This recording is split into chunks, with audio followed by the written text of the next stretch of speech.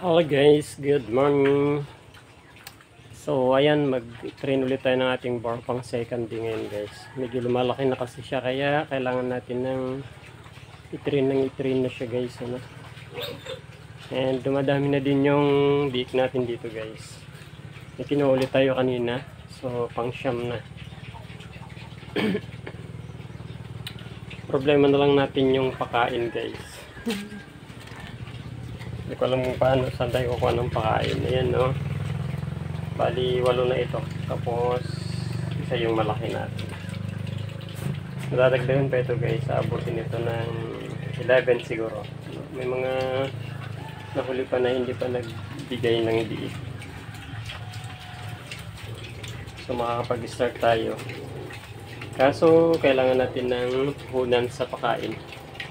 Wala naman tayong puhunan na dito sa biig guys kasi yung mga hindi pa natin nakuwang dudo yan. Dahil doon sa mga born natin dati. So ang ganda sana guys kung hindi naputol yung trabaho natin doon sa bore. Continue na dumarating yung mga beak natin. Pero ganun talaga may pagsubok guys. So we need to start again. Okay guys. Tara. Labas natin itong ating bore. So pangalawang araw niya ngayon. Yan guys, ilabas na natin siya. Hindi ka na. Mabigat na siya guys. Tara-turuan natin maglakad sa pilapil. Hmm, wala nang kalsada dito. Yan na. Uy.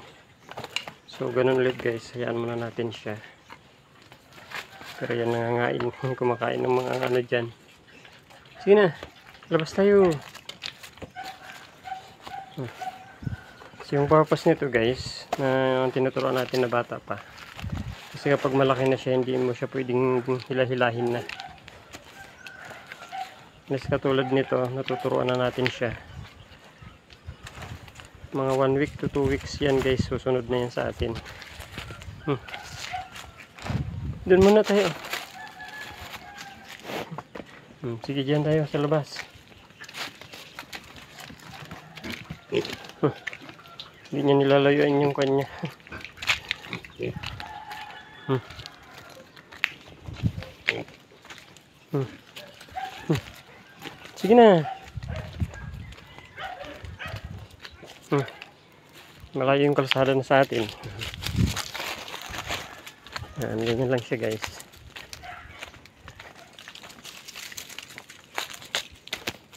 Hmm. Hmm.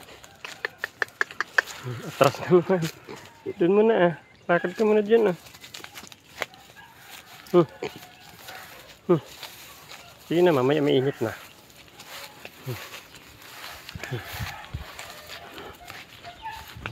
Kalakaran lang natin dito guys. Hmm, huwag ka muna babalik ah. Sige. Doon na, mm, hulog ka dyan.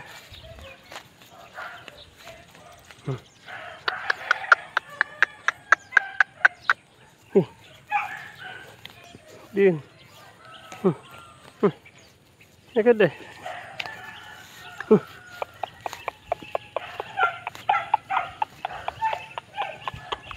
Sige na. Bumalik. Mamaya ka balik ah. Please.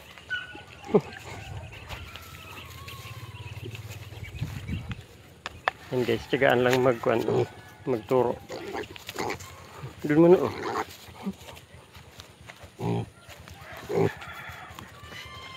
oh. Mamaya ka uwi. Hmm.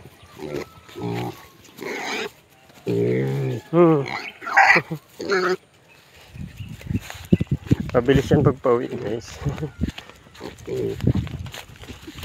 Hmm.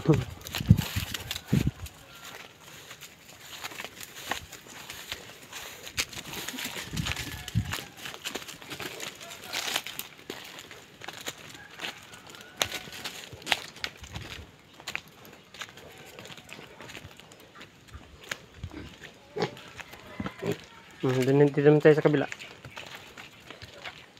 Tingin sa kabila.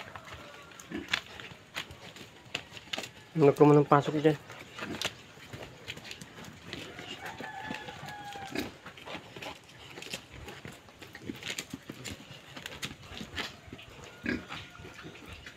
Yan guys, kailangan lang natin siyang pamuin muna.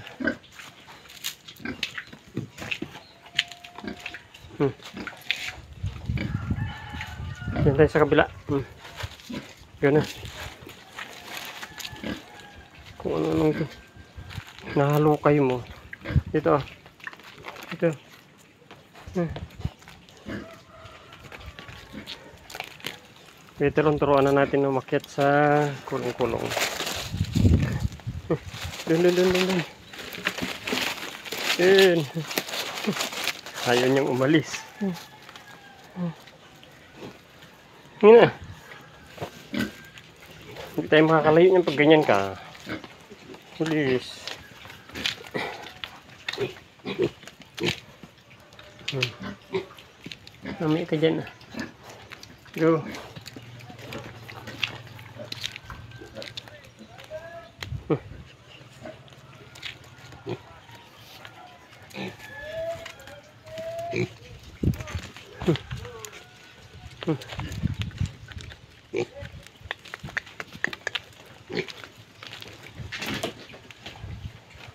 Wala kasi tayong daan na maayos guys. Hindi niya ako ano. Ah, doon. Sige na. Hmm. Yo. Yan guys kahirap mag ano, i-guide. Pero later on yan. Kahit sa mo yan dalhin sunod dyan. Ni. Antay din sa kwan. Yeah. Hmm. Doon mo na oh. Ayaw niya. Ito. Wala siya mahanap na daan. Eh. Hmm.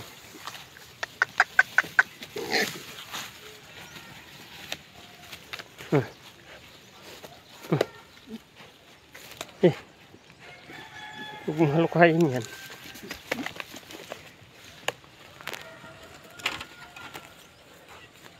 Hmm.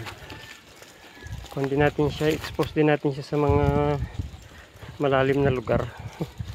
Kasi minsan ayaw bumaba pag mga ganito. Takot. Hmm. Hmm. Hindi na.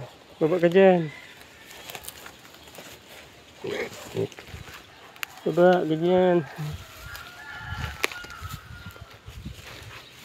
Hmm. Hmm. Hmm. Na tayo sa kalsada. Yes.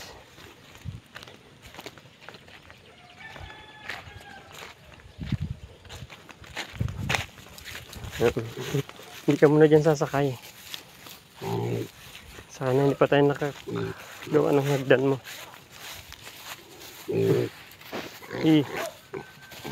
Hmm.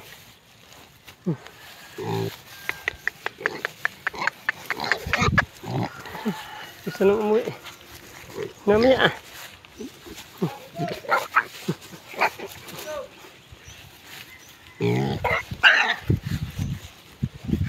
Palang yan guys kasi second day pa lang. Pag nag one week na tayo, susunod na yan. Hmm. Di. Di mo na oh. Na sir ah. Hmm, hmm. Hulog ka na. Talagang pinipilit yung umuwi. Dito muna tayo.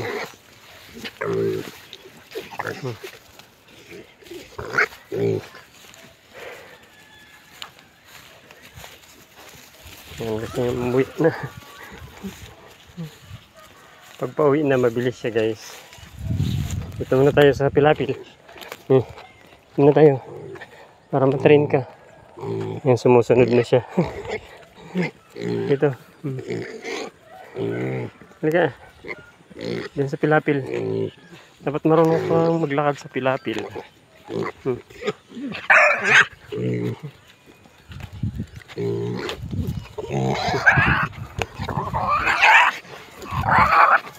Yan. Yan. Na siya, huli na.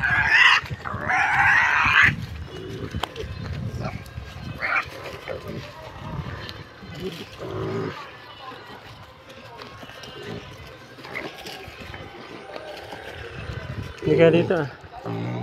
Hindi ka.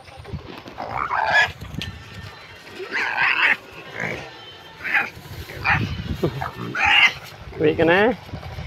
Go. Hmm, sige, uwi na, uwi na. Uwi na, uwi na. Doon na.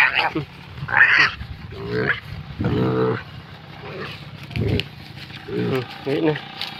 Bukas ulit. Mare, pagbalik na bor.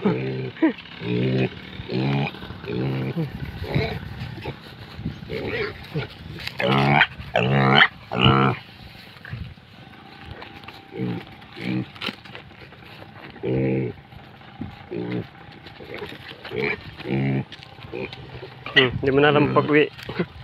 Dito. Hmm. Okay, tama na ulit guys. Uwi na natin. Para hindi siya magsawa. Hmm. Yan. At least alam mo na umakyat dyan.